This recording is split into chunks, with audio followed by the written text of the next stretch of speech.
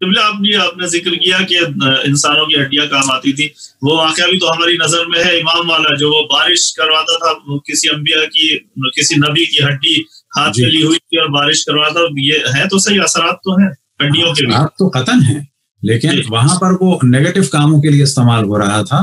یہاں پر کیا ہے کہ کر تو رہا تھا نا استعمال ہوا تو نا۔ نہیں وہاں پر کیا ہے کہ اس سے بچانا ہے لیکن ان سے بچنے کا کام نہیں ہے۔ یہ ایک نبی کی ہڈی کی برکات تھی۔ یہ نبی کی ہڈی کی برکات یہ تھی کہ اس سے بارش ہوگی۔ صحیح ہے؟ یہ بالکل ایک الگ چیز ہے۔ یہاں پر کیا ہے کہ نبی کا وجود جو ہے مقدس ہے اور نبی کے وجود میں برکت ہے۔ نبی کا وجود جو ہے رحمت ہے۔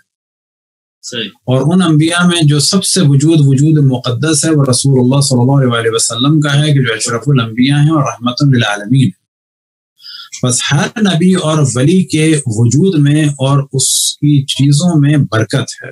لیکن یہ ہو سکتا ہے کہ ہڈی میں یہ برکت تھی۔ یہ ہو سکتا ہے کہ کوئی غلط آدمی جو ہے وہ اچھے آدمی کو یوز کر سکے جیسے وہ کر رہا تھا یعنی وہ اپنے عقائد پھیلا رہا تھا نا ایک غلط کام ہو رہا تھا۔ تو غلط آدمی یوز کر سکتا ہے نیک آدمی کو کسی غلط کر سکتا ہے۔ ایک حد تک کر سکتا ہے۔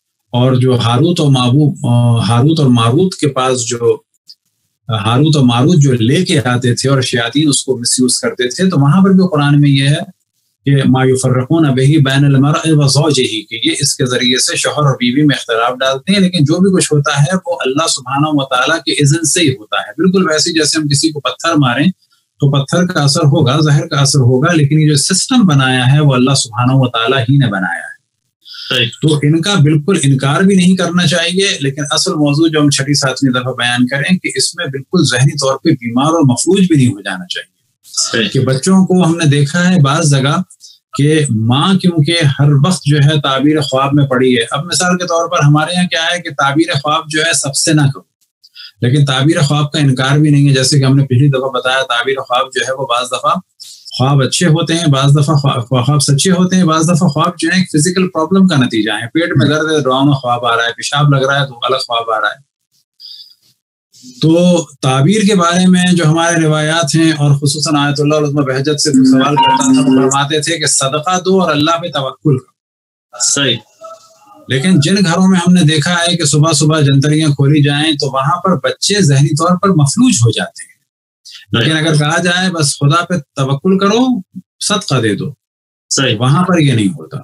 بالکل اسی طریقے سے ہم نے دیکھا ہے کہ اب نظر بد نظر بد کا روایات میں ذکر ہے کہ نظر بد کے ذریعے سے موت بھی ہو سکتی ہے۔ لیکن ساری دنیا کے ایکسیڈنٹ نظر بد کی وجہ سے ساری دنیا کے اسپتال نظر بد کی وجہ سے نہیں۔ ہے بس ہم کیا کہیں کہ نظر بد بھی ہے نظر بد کا توڑ بھی ہے اور وہ اللہ سبحانہ مطالعہ کے ذکر کے ذریعے سے ہے۔